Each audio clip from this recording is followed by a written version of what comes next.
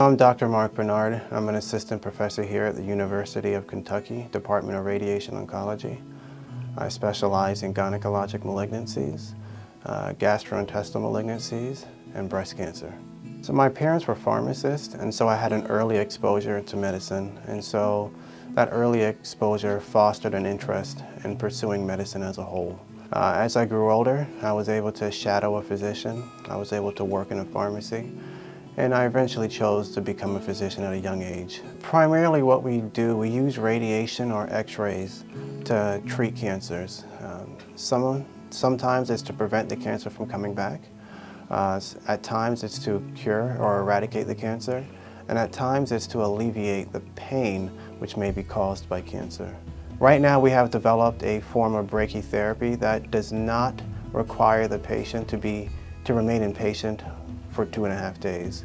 Uh, it's a one-day procedure where we can deliver a boost of radiation therapy uh, and they can leave that same day as opposed to delivering this brachytherapy treatment over the course of two and a half days while the patient's in the hospital. Uh, academic centers uh, are known to always engage in research, explore new ideas, and to not be satisfied with the current level of care.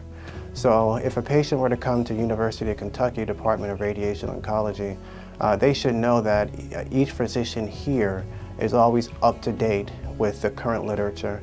Uh, the physicians here are up to date with the best treatment options for them. And because we have just about all the latest technology, we have a lot of uh, ways to deliver the best care to them. So if a patient were to be referred to me, they could have the assurance that their physician is doing everything they can to deliver the leading care towards them, uh, to maximize their um, chances of cure, um, while at the same time delivering minimal side effects. I also enjoy getting to know the patient as a person because when they come to me, I, I, want to see them as a mother, as a father, as a brother, as opposed to just a diagnosis.